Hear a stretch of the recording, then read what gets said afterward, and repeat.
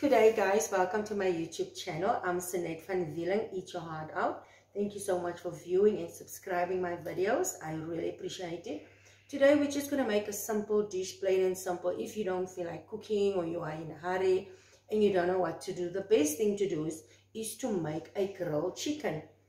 You just put it in the oven with some onions and some lovely peppers and maybe a veggie here and there. You can also put in some butternut like I'm going to do it now. It's not going to be a sweet butternut anymore. It's going to be like more like a salty butternut and it is so delicious. Like you can have this like as in salty or sweet. The salty one is quite nice. It is just as nice as the sweet one. So we're going to put all this in one pan and just grill it in the oven. Like I use two onions where I just cut it up in a little bit thick pieces because we are going to grill it in the oven for about one and a half minutes. One one hour and 30 minutes.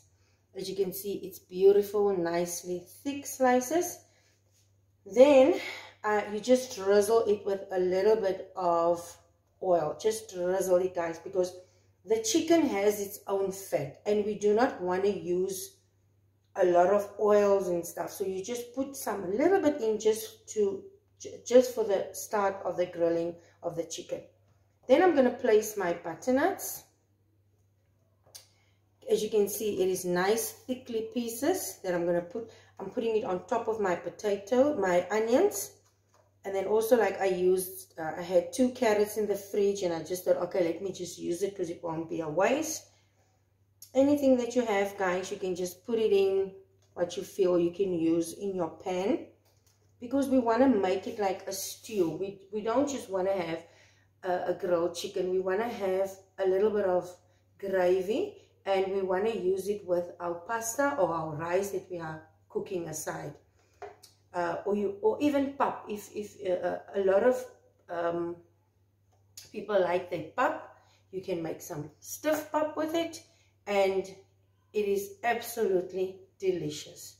So then you just pack your butternut in the pan. This is all going to be one beautiful dish. Then guys, I've got some green, my red and yellow peppers that I chopped up. Also not too thin guys, because if you grill it in the oven, it's going to get soft and we really just want to see there is my green i see it i can see my my red pepper and my yellow pepper then you just put it in the pan like that. So all of this guys it is a beautiful flavor.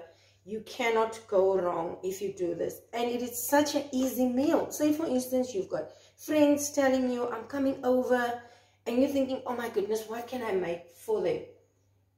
Buy two chicken, guys. Buy chicken. And then two whole chickens. Fresh from your local supermarket. Two beautiful. I, I'm not cutting this off, guys, because this is all flavor. So then you just buy two whole chickens or one whole chicken. Depends on how many people there are. Husband have to eat. Kids have to eat. Friends, uh, visiting, friends are coming to visit, then you just do this. And then you buy, you can even buy like rolls and serve it with this. Or you can cook up some rice. It's not even going to take you long. And then there you have something to eat, a supper. Lovely, easy and straight to the point and delicious and it looks expensive and appetizing.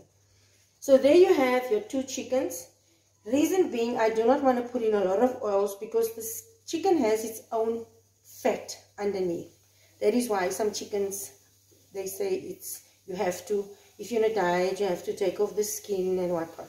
But we're going to grill it and all those fat is going to get into your pan and it's going to give it a natural, lovely flavor. So guys, I've got my spices here. This is a very popular spice, especially here in Witbank. It's Ma Dolly's Worcester sauce spice. This gives the chicken a beautiful brown flavor. And it's, um, it, it's, it's, you know, when you, when you grow something, we don't want a white chicken. We want a we want a grilled chicken that's brown and looks tasty. So that is what we want. We do not want a chicken that's like, oh, but it looks still raw. It, it doesn't look appetizing. Everything we do, we want it to look appetizing. And then before I forget, guys, you also can add like a spoon of garlic. You can just put it in between your veggies like that.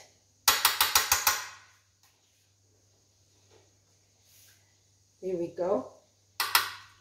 You can use one or two cloves just for the flavor, just for the beautiful, lovely flavor. This is such an easy thing to do. If you don't know what to do to make for your friends coming over, this is the easiest. It is not standing around by the pot. You put it in the oven and you leave it there for one and a half, one and a half hours. Okay, then now I'm going to show you how I spice my chicken with my dolly spice. We're to just put it on over. My mom always used to tell me you must rub your chicken in. so I'm going to rub it in, guys. And you put it all over, inside, outside, because we want some flavor. We want some beautiful, lovely flavors. So then you just spice it up, guys. And even in between the chicken, as you can see, when you just open an incision there like in between there and just put in some spice rub it in. Don't over spice it but I must say this is one of the spices that is not too salty and it's very delicious because it's a Worcester sauce spice. It's one of the best spices you can even use make having a braai so then this part, you open it up and you put your spice in there. Guys, believe me, you want it spiced in there. We do not want a dry, boring, dull chicken. We want it to be lovely and spicy. And even on here, you just rub it in, guys. You press it in the spice. My mom always used to do that. And I always used to look at her in the kitchen. I thought, why is she handling the chicken like a baby? It's like she's rubbing it out. So yes, I'm rubbing it out, guys. So another chicken. And look already the color of the chicken. It looks so appetizing. Guys, if you see me making a lot of chicken, I'm not running out of ideas. the real serious cooking is coming see there I open it on the side of the chicken as you can see and then you just put in your spices in there. Inside the chicken make sure you rub it in lovely all that you can get to all the spaces and the places in your chicken. Put some in there. You can even stuff it up with some mince and like when you make a lovely uh, turkey, a turkey, a stuffed turkey, you can do the same with the chicken. It doesn't have to be a turkey only. Like for instance, if I should have had some stuffing, I was going to stuff it in there. But then I feel this is enough. It's a Saturday night. Saturday, we just want something not too fancy, out of our way. My visitors is coming. I'm getting friends over and I am serving them grilled chicken with veggies and some lovely rice or spaghetti that you just boiled. You don't have to go out of your way, guys. Look, there's my chicken. It is all spiced up. And at the ends too, you rub it in because you really want this chicken to be fabulous. Ons wil lekker eet mense, lekker eet. We want to taste the food. We are South Africans and we know what it is to eat some good food. Pardon? Then last but not least, if you have any spices left over in your cupboard that is sitting right at the end, you can throw it on your chicken. So firstly, I'm just going to put drizzle it with a little bit of, sorry, olive oil just on top, just so the spices can stick. And guys, don't forget my roast potatoes.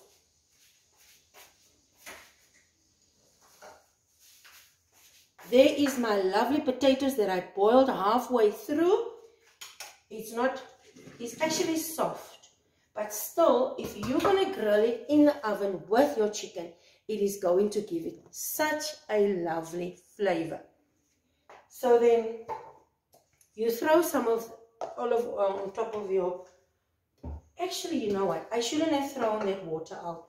You can just throw some water into your pan because we want the veggies to simmer in the oven as well. Okay. Then we're going to pack in our potatoes, our beautiful. Oh, just look at that potato. Isn't it lovely? Then you just pack it on top. This is like you are already eating with your eyes. Everything is nicely placed. Jy sit hom mooi. Look at this beautiful one. Wonder who's going to be the lucky one who's going to get this one. and what's nice about the potatoes that I boil first, because of the butternut, butternut just steams. It's like, it's ready. It steams within like 10, 15 minutes. Potatoes, you take a risk sometimes, but some people will disagree, especially my family. They will say, you put in the raw potato in this and we're not going to boil it. It's going to be, it's going to be fine. But anyway, I'm just playing it safe. See, so now you don't have to worry and check on your potatoes. Is it soft? Because potatoes really sometimes want to be boiled, want to be cooked. And then you just put it in there. See where I put that one? Right under the bum. so the fat can drizzle on there, people. The fat, the natural oils of the chicken must drizzle on the potato. And what's nice about this whole idea, the potatoes are going to roast beautifully. See? So when you have people over, don't give them Simba chips, people. Don't give them Simba chips and Niknaks and lace. We want food. We want food. Yeah, so cook. Just, this is not even cooking. This is just weighing everything together. We don't want bread. We don't want sandwiches. You don't even have to make a snack if you do this. You have this. It's like a showstopper. And everyone will enjoy. Especially your friends, your family. They will say, wow. You see where the potato is? it is right under the ass. And that one too there. Guys, this already looks so delicious. And last but not least, this is finished. This is my spur Texan steak spice. So this is what's left of the spice. We are going to throw it on top of the potatoes. Here we go, guys. Ooh! Doesn't this chicken looks absolutely lovely? Why do we need to go out of our way if you can pay a hundred rand for two whole chickens? You have onions in your cupboard. You've got a butternut somewhere or a veggie somewhere. Just lying there. And then that's it. You just pour in a little bit here on the potatoes. And guys, look at that. Yummy, yummy, yummy, yummy, yummy. Hmm? It's not even grilled yet. So underneath we have the onions, the butternut, the peppers. If you don't have peppers, it's fine. We don't need peppers in our life. Onions is fine. Even if it's one onion, it's going to give it a flavor. Even if you don't have garlic, it's fine. So then, last but not least, you put in like a cup of water. because when you grill it, guys, it needs to steam up everything from underneath and then all the fats will grow down to your veggies. So we're not going to add oil. We don't want an oily dish. We want gravy. You know, me and gravy. I like, yes. So then you put some, this is like a cup, two cups maybe, I think. You will just see, guys, how, can you see the gravy? There we go. And it's not going to be spicy. It is going to be delicious. Then you can just throw some over your potatoes so it doesn't have to be too dry. Just a bit. Just a bit because when we grill it, we're going to turn it over. Then it's going to be lovely, beautiful oils in the pan from the chicken. Its own fat. So just look at that. You can even put this piece that's hanging you can just put in like a pepper in there. Just put in a pepper in there. And then you can even put a butternut in there for flavor. Flavor people. We want flavor. Put in this but no doesn't fit. So we're just going to take green pepper I mean red pepper. Don't have green peppers. I just used what I have in my fridge. And that is what you should do. Use what you have, guys. Don't be despondent and say, oh, but I don't have this. I'm not to make it. No. You do it, do it, do it, do it. And you'll be so happy. Okay. Now it's ready for the oven. I will see you in a while. The oven is all warm. It's all hot. And we are going to put it in the oven for one hour and a half. If you have a very strong oven, it can be an hour. So we'll see.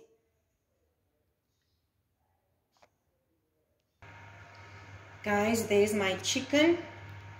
It's busy grilling. As you can see, it looks beautiful in the oven. And I also put my oven on 230 on the highest because we want it to grow and not steam. As you can see.